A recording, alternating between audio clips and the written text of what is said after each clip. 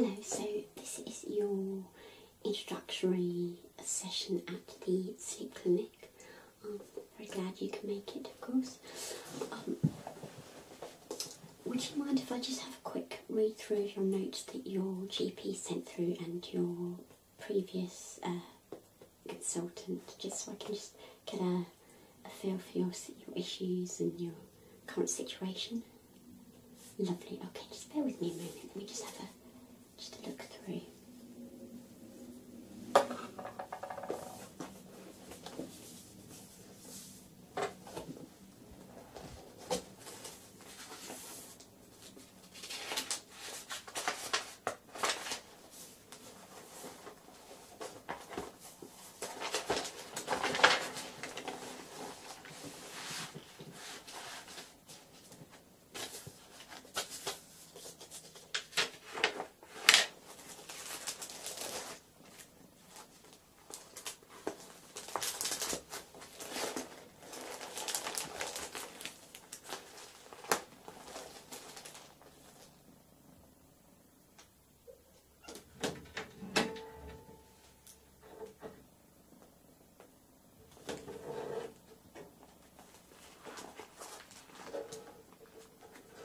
Don't excuse us, we actually have a resident cat here.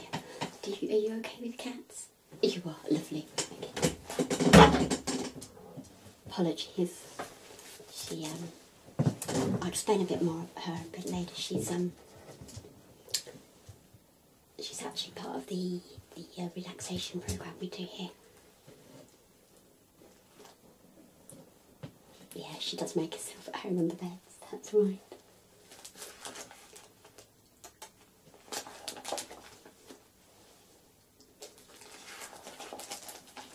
Okay, let's have a look.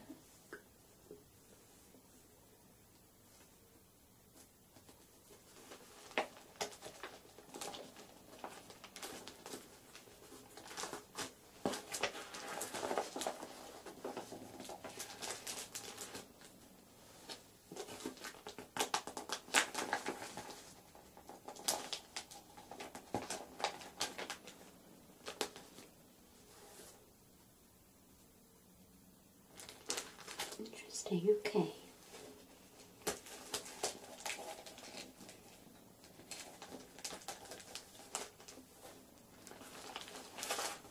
Okay, so you've you've had several several therapies. Is that right? Okay, okay, and this this is all related to your sleep issues? Right. And none of them have worked?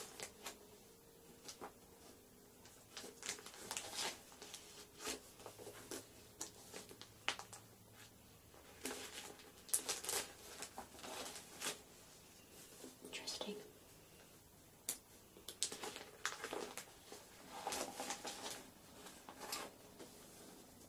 So this has been going on for five years, I see. Right. And can you think of anything that may have triggered that? Was was anything significant that happened five years ago when your your issues started? Okay, you made redundant, right? Yeah, absolutely. That's um, there's no telling just what a an emotional effect and psychological effect the redundancy can have on people. Absolutely. Sure, sure. It's a very, very difficult time, especially in this climate. And of course, um, five years ago, um, especially with the recession, well, the global recession, of course, we've been experiencing, a lot of people have been looking for jobs, and whereas before, of course, you'd um, 100 applicants would be applying for one role, it could be as much as 200. So, absolutely, it does. The redundancy really does affect people hugely. I do think it's vastly underestimated the psychological effects it can have on people, especially in terms of, um, especially in terms of sleep, of course.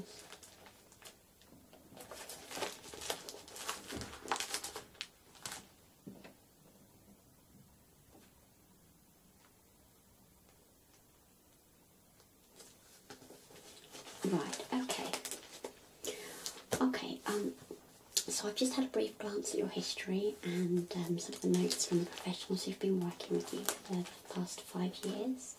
Um, so it does seem like, of course, you've had a huge amount of therapy, which is great. Um, but of course, absolutely doesn't always work. Excuse me, it doesn't always work that everyone does it. So um, let's see if we can't get you get you sorted. Let me just close this door bear with me. Oh, excuse me, that was very loud. Um, so, what's the best thing? What I think the best thing to do is let me just take a, a brief history, um, and then I will explain to you about how we work, what our philosophy is, and the sort of things that you can expect from the sleep clinic. Okay, so let's just start. I've obviously had a had a look at your notes here, so let's just start from the situation and your issues as you see it. Is that acceptable to you to go down that way for way of working at the moment? Okay, okay, lovely. So um, so you say it's uh, five years you've been experiencing this. Okay.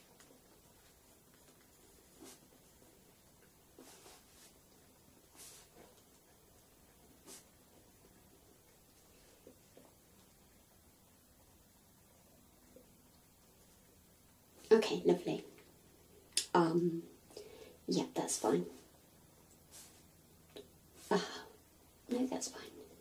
Okay, um, and so redundancy was the you believe was the trigger, and before that, had you had any kind of sleep problems before? No, okay. Okay, and in your own words, explain to me exactly the issues you are experiencing with sleep at this present time. Okay, so you can actually get to sleep okay? Okay, and. Okay, and you're finding you're waking up quite a lot. Okay, and roughly how many times a night would you say that you are waking up?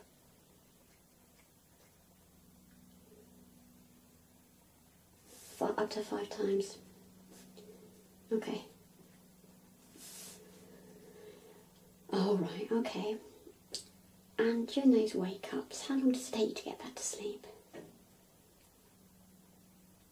Okay.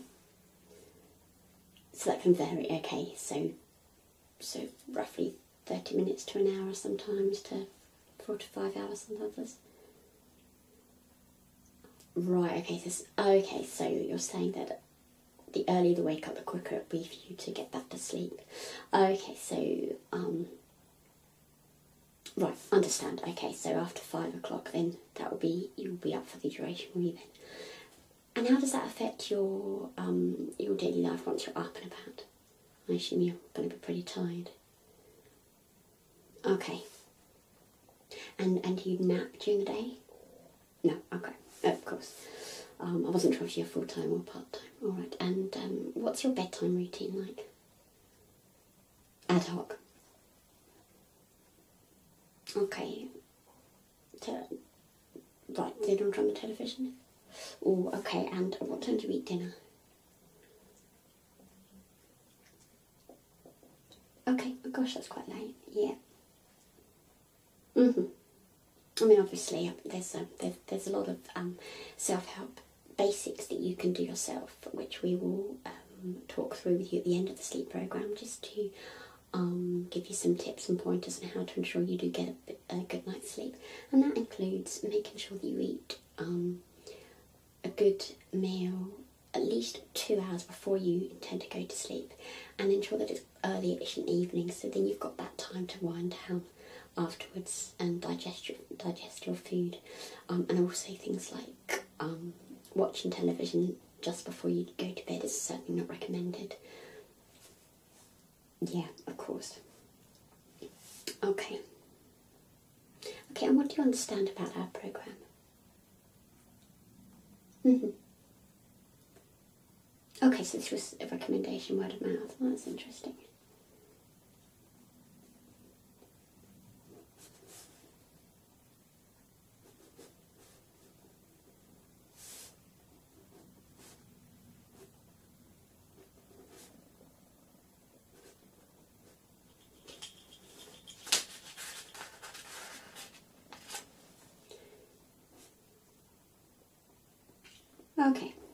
lovely. So that's just a brief history there. Oh, do excuse me. I'm very sorry. Cats will be cats, I'm afraid. Yeah, that's that's not pleasant to. Uh, yeah. Well, it's just as well you like cats, and we have some people here who, understand we don't like cats at all, and uh, who can blame them when they do things like this and charmless, charmless behaviour sometimes. Absolutely. But it's it's good that you do like cats. Okay, so let's just ignore what's going on there for the time being. um, she's our resident uh, kitty, so uh, just so we'll just bear with her. Um, so um, let me explain about how our sleep clinic works. It's um, a very unusual philosophy in that although we do um, do some relaxation uh, procedures on on yourself in terms of um, just before you go to bed, in terms of uh, progressive relaxation, perhaps a bit of meditation. Um, one of my colleagues is um, can perform Reiki or massage, head massage, that kind of thing. Um, the philosophy we operate is really get to know the patient inside out and back to front in terms of their likes and their dislikes. So, what that means is that we will talk to you about the things that interest and excite you and really inspire you, as well as crucially the things that really don't, the absolute opposite, the things that really bore you. And that is the list that we work from during our program because, in fact, what we do is um, my colleagues will go through the list of things that really bores a person, um, and as part of their bedtime routine, they will um, talk to that person about the subjects that really bore them. The idea that they are then bored effectively to sleep. Yeah, absolutely. It's a very quirky, a quirky approach, but we have a ninety-nine percent success rate. Yeah, definitely. I know. Who'd have thought? Oh, what was the one percent? actually, uh, it's funny you should say that. Um, it was it was several years ago now. The um, a colleague of mine had actually um, mixed up the lists with one of their patients between um, their likes and their dislikes, and um, instead of reading this particular patient and going through the various topics that she was under the impression that they um, they were bored with, they were actually really inspired with it. It was the wrong list. So this person, instead of becoming sleepier and then was relaxed enough, or bored enough, I should say, to sleep, um, it totally wired them and they became very animated and were very enthused by these subjects. Um, so that program did not work very well at all. And of course, um, once the mistake was realised, this uh, they didn't uh, they didn't want to try again and see if it would work better for them. So yeah, definitely, it's it's happened just once in all the uh, ten years we've been running. So, um, but I'm sure it won't happen happen with you. Um, okay. So let's let's just start with the things that really interest you. Let's let's make it really easy and just start off with your favourite um, television programs. Uh huh. So you like soaps. Oh, okay, you're a Corrie fan rather than EastEnders. Yep. No, I, I have to admit I haven't. I don't tend to watch soaps. Yeah, I've definitely had uh, a bit of a deprived adulthood in that respect. okay, you like watching? Yep. Animal documentaries. Uh -huh.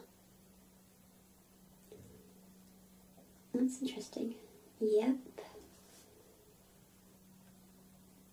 Okay, and the type of TV that you're not so keen on?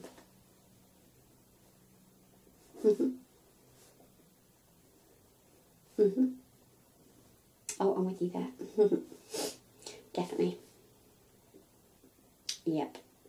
X Factor. Yep, I could definitely do without that on our television screens. Okay. Um, what about books? What kind of books do you like reading? Sci-fi. Okay. Mhm.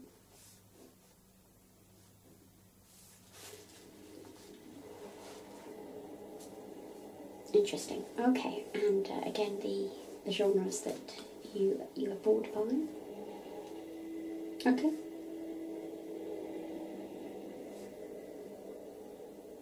Mhm.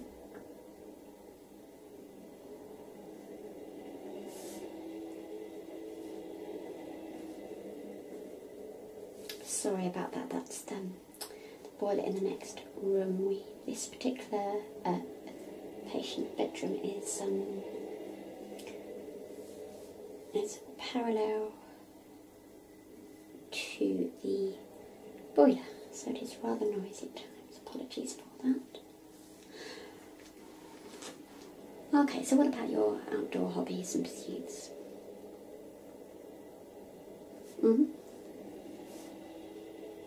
Mhm. That's fine. Stream of consciousness. If as while you're talking to me, you can think about the things that you like, don't like, then I will jot down. There's no need for a particular order. As many as you can think as many as you can. Then um, my when we change shifts later on, the night shift, we'll have a look through your dislikes and your likes and select a few to talk to you about as you're going to sleep. So the more they have, the more scope they have to discuss these subjects with you. Absolutely. Yep.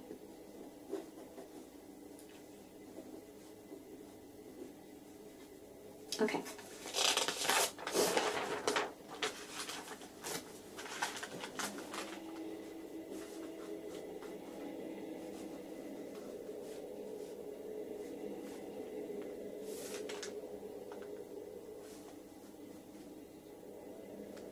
Mhm.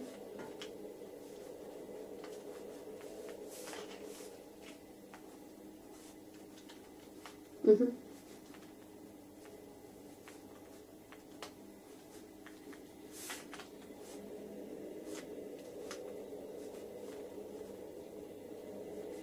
Mhm.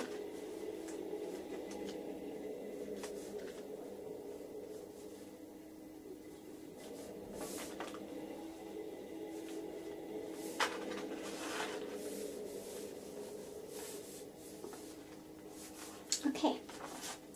Great, we've got quite there.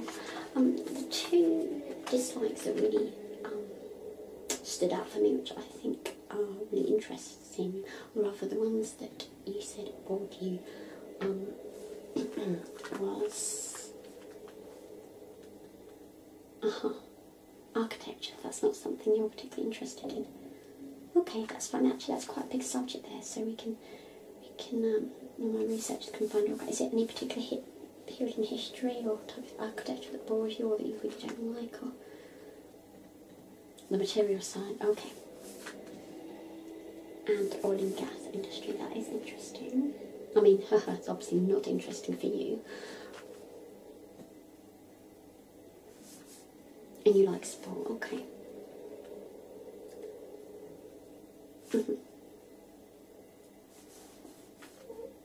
Okay, there's a lot of scope there to discuss all kinds of. Oh, dinosaurs, you're not interested? Well, I suppose you're not a child, right? So, yep, that's it. Whenever, whenever you do go to those museums, it's always um, preceded with that flooded, pardon the pun, um, the dinosaur exhibits by the Nappy Brigade. So, um, don't really get a good look at the dinosaurs with all the, all the little tots and tiddlers waddling about. Okay, that's fab. Got enough details there.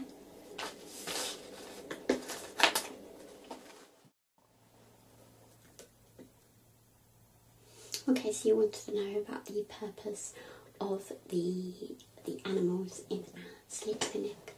Um, so, of course, in addition to the other um, services we offer during your stay here, in terms of massage, um, Reiki meditation, yoga, progressive relaxation.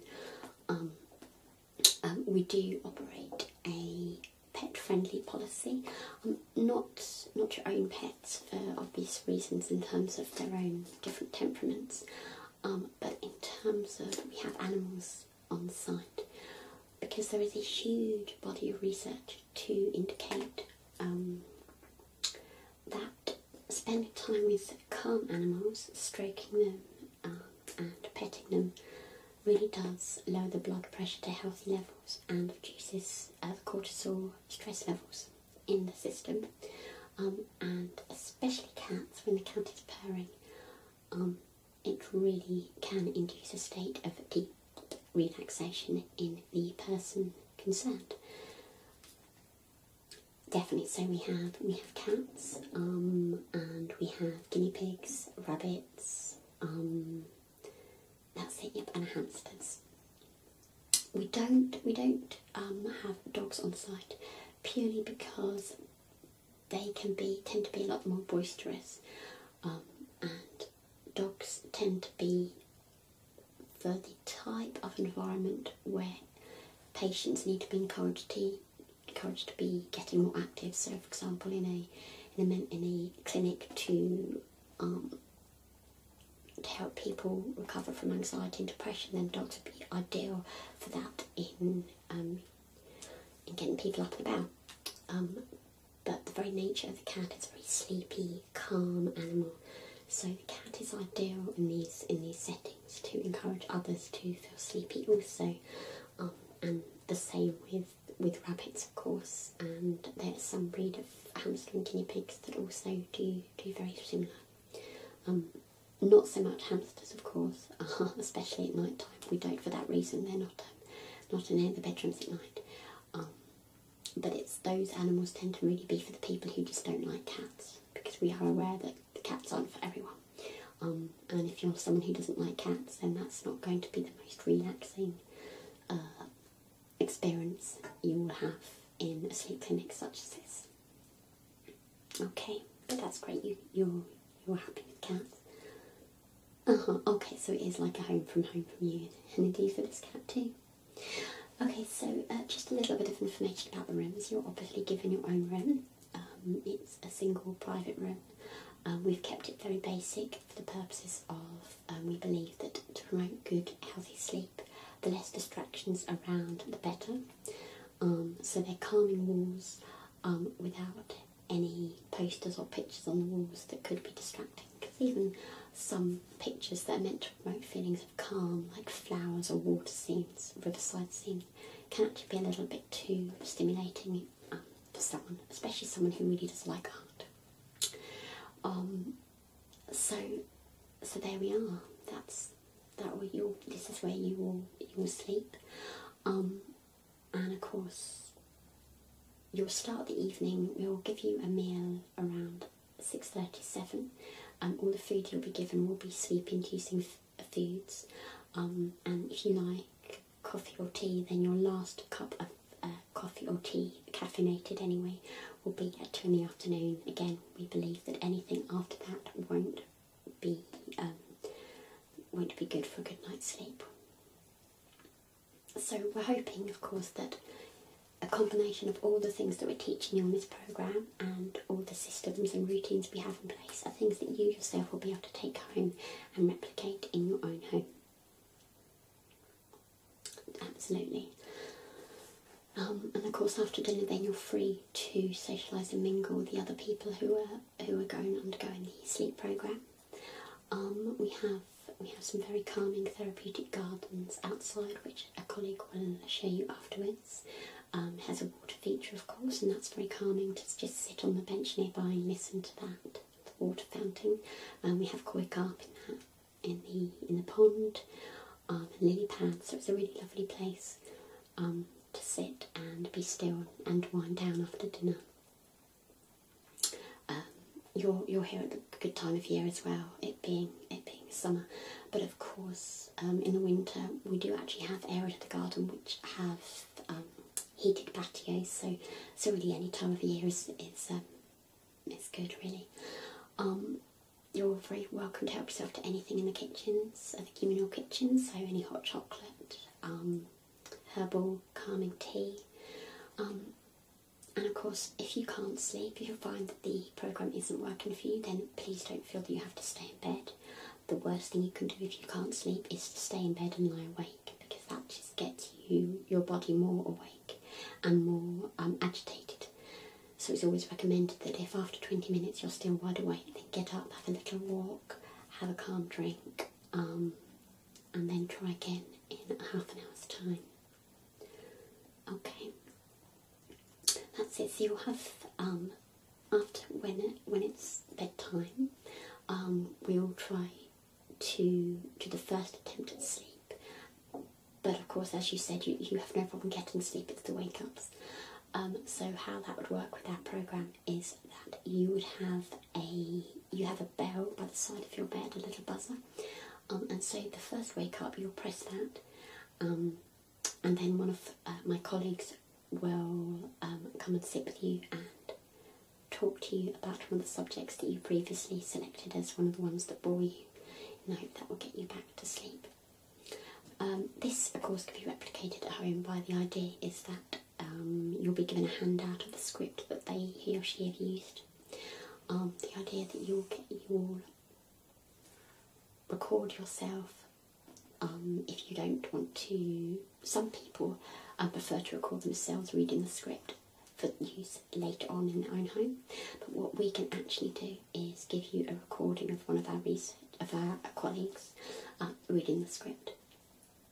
With the idea being that all you need to do then is switch that on and listen to that during one of your wake ups. Um, and the mere mention of a particular topic will be enough to make you very, very drowsy indeed. so, um, yeah, definitely intriguing stuff. Uh-huh, yep, and e even if it means if you're waking up four or five times a night, then don't be afraid to press one of the buzzers. Uh, the night staff are well used to doing that, and indeed that's their job. So they'll be reading from a script that they have prepared during the they prepared earlier. So after our consultation, it's I will brief my colleagues who will be with you during the night shift Mm-hmm. And they will go through the list that you have selected, you have uh, spoken to me of, um, and put together a script with um, information and um, different different bits and pieces about the topics that you have you have told us that you're not interested in. um, and of course, they'll go into a lot of detail um, using Wikipedia pages, of course, and and um, other things they found online so they start to build up a very big picture um, of the area of non-interest, shall we say. So that's something that can be easily replicated in your home, and of course you're you're very welcome to use the CDs that we have prepared for you. Okay, okay. So do you have any questions at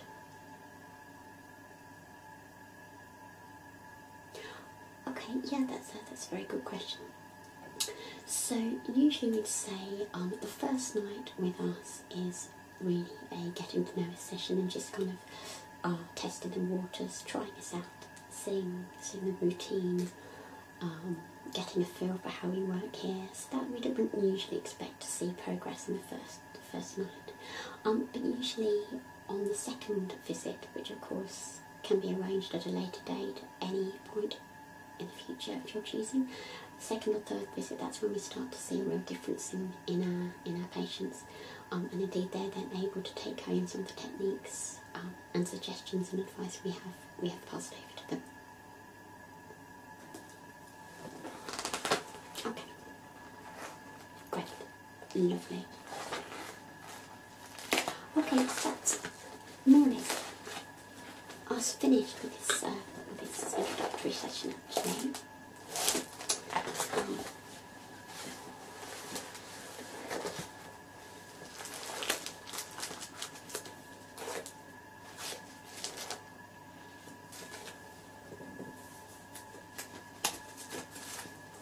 What I just want to check before we do anything else, I just want to check we've got your um, personal details correct. Okay, so your your name, your address. Can you uh, confirm your postcode with us, please? Yep, that's fine. First line of your address, 24. Okay, lovely. And uh, your mobile. Yeah, that's fine. I can never remember my mobile number either. Yep, I'll wait, that's no problem.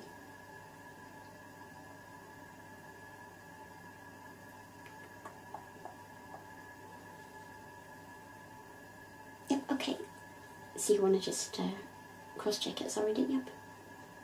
07743 332 2278. Okay, yep, that's what we have to. Okay, lovely. Um, and your home number? 0162, yep. 229 7432. Lovely. Okay, and um, next of kin. Okay, your partner. Absolutely, yep, we've got their name correct. Okay. Mhm. Okay, and a contact email. Yeah, what we what we do is we send you uh, we debrief you after the session, so via email or post, depending on your preference. Is we send you um, we send you more or less the things we've talked about um, with a pack of the techniques Oh, and a reminder of the routines that we've gone through here, so you can have it to hand at your convenience. Your Gmail, okay, yep. Okay, and is that all lowercase? Yep, that's good. That's absolutely correct. Lovely. Everything, everything is absolutely up to date here.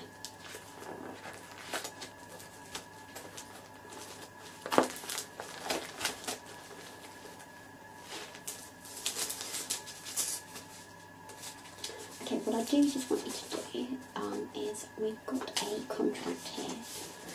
Um, this is all just run of the mill stuff, just in terms of agreeing that um, you're, we have fully explained to you the nature of the program, what you can expect from us. Um, and in terms of what we expect from you is that you'll obviously leave the room in the same condition as you left it, which is clean and uh, tidy. Um, I'm sure you wouldn't have any problems with you in terms of graffiti or trashing the furniture, of course. Um, and the same with all the other communal areas and washing up after yourself, that kind of thing. Um, and of course, our, our agreement to you is everything is absolutely strictly confidential. Okay, so I'll just give that to you. Okay.